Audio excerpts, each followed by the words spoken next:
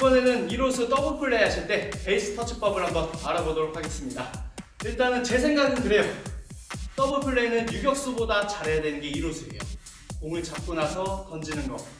근데 유격수는 아시다시피 공을 잡으면은 1루수 방향이기 때문에 이동하면서 던지면은 굉장히 편해요. 그래서 그렇게 어렵다고 저는 생각을 하지 않고요. 반대로 이루수는 들어왔다가 내가 몸을 다시 이동을 시켜야 되기 때문에 어렵다고 생각을 합니다. 근데 거기서 제가 팁을 하나 알려드릴게요. 좀 이동하기도 편하고 내가 좀 더 짧은 폼으로 통과할 수 있는 방법을 제가 한번 알려드리도록 하겠습니다. 자, 이루수가 베이스에 들어가실 때 어, 선수들도 대부분 그러실 거예요. 그냥 베이스만 보고 대각선으로 들어와서 잡고 던지는 형식이죠.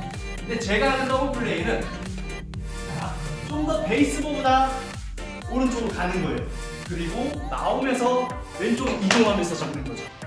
그러니까 약간 원을 그리면서 나온다고 생각을 하시면 되는 거예요. 제가 잘못된 예가 아니라 약간 대중적인 거 한번 보여드릴게요.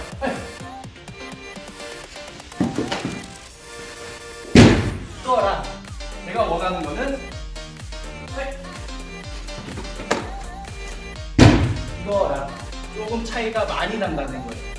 더블 플레이는 아시다시피 반발, 한 발 차이로 세이브 되느냐 아웃이 되는데 이걸로 인해서 반발 정도는 제가 좀 더 빠른 송구를 할 수 있다는 겁니다.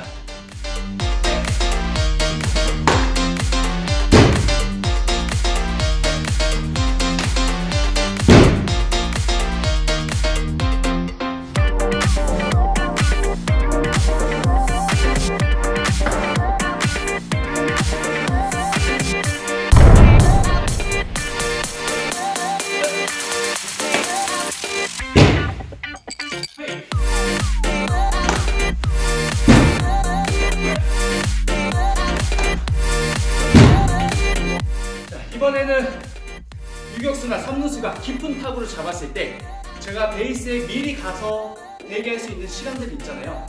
그럴 땐 베이스터치 어떻게 해야 되는지 한번 알아보도록 하겠습니다. 자, 일단 깊숙한 타구가 오면은 굳이 돌아나오실 필요가 없어요. 어차피 제가 미리 가서 대기할 거잖아요. 그러려면 똑같이 최대한 베이스로 빠르게 이동을 하신 후 오른쪽 다리로 베이스를 밟고, 밟고 있는 거예요. 오른쪽 다리로. 원래 더블 플레이는 왼쪽 다리를 밟고 오른쪽 다리를 이동하면서 더블 플레이가 이루어지는데 반대로 딥스가 타고는 여기 승부가 중요하기 때문에 오른쪽 다리로 베이스를 밟고 왼쪽 다리 일루수처럼 디디면서 잡고 다시 오른발 왼발이 되는 거죠. 근데 여기서 중요한 거는 제가 아까도 말씀드렸다시피 더블 플레이는 하나만 잡아도 돼요. 굳이 무리해서 두 개 다 살려줄 바에는 정확하게 하나만 잡으셔도 된다는 거죠. 자, 한번 보도록 하겠습니다.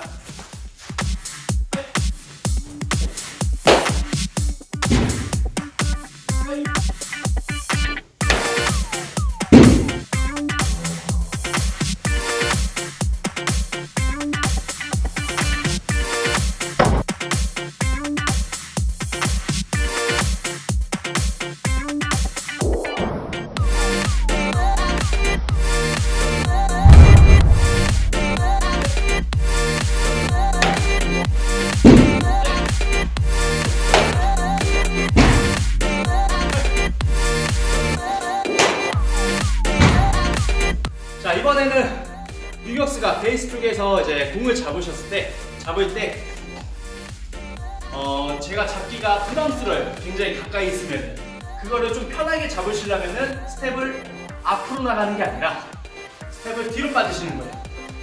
이런 식으로. 그럼 한번 배워보도록 하겠습니다.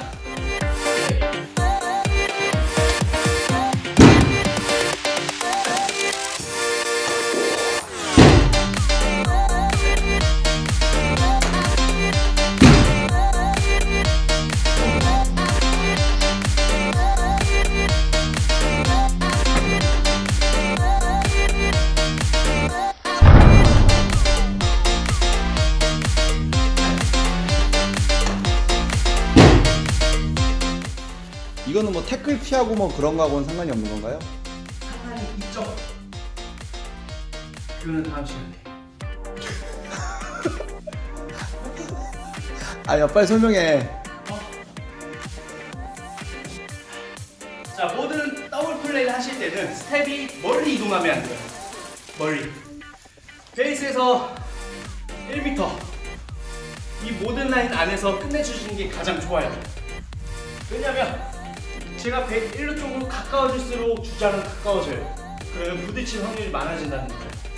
그래서 베이스에서 최대한 다리 하나 정도 이 라인에서 모든 스텝을 끝내주시는 게 태클 피하기는 가장 좋습니다.